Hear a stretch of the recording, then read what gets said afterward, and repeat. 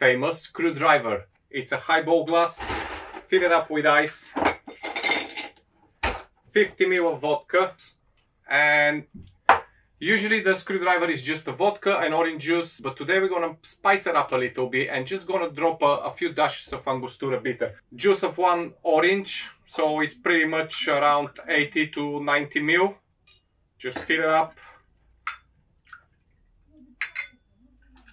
And then just few drops of Angostura bitter.